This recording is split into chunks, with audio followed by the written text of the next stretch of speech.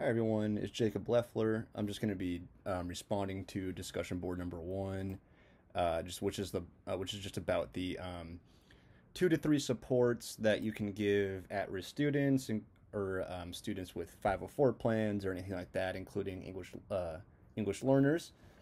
Um, so I have some experience. I've been I've been a uh, one-to-one aide for the last couple of years, and um, I seem to always get put on the toughest cases. So um, I, I, I, actually like that though. I I took the job so I can get a get harder cases, um, more moderate severe um, students, and I think that one thing that has really helped is doing the ABC chart. So, excuse me. So the antecedent behavior and then consequence chart.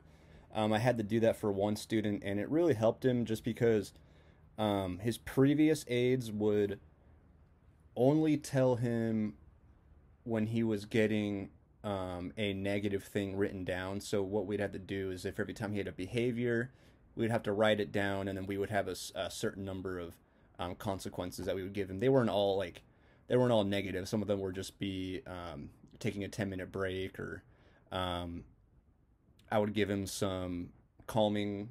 Um, this some like calming beads to play with a little bit, and just, we I had a bag full of um, just kinetic things that he could play with, like some kinetic sand and a, a nice stress ball that he could do if he was being really, if he was just kind of like being really distracted, not really paying attention in class. Like if I saw him just tapping on his desk a lot and looking around, I would just give him a stress ball just so he can have some type of, um, just like some type of activity that he was doing. So back to the ABC chart um, I would always tell him. Oh, sorry, there was a p- part on the bottom where we would give him a tally mark for every 15 minutes of expected behavior. So he was allowed to get three good tally marks per class. Um, and what I started doing was just telling him every single time I would write down a positive or negative thing, just because I also needed him to know that I wasn't just writing down negative things. So every time I would, I would give him go, hey man every time I give him a positive check mark, I'd be like, hey man, fit another 15 minutes. You got another good mark. Great job. Give him like a high five or something like that. Um, and I work with uh, eighth graders and seventh graders, and even just giving them some type of affirmation and some type of positive reinforcement really helps them. And another thing that I've that I really uh, that I think helped like some supports is just the accommodations and modifications in the IEPs.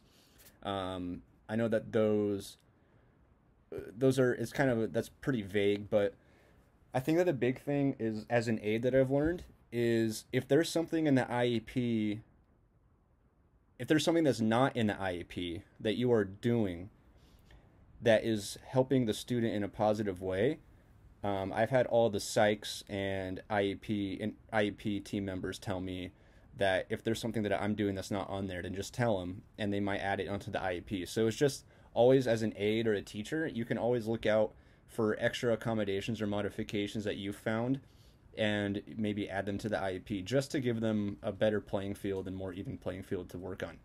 Um, so that's pretty much it. So thank you for listening.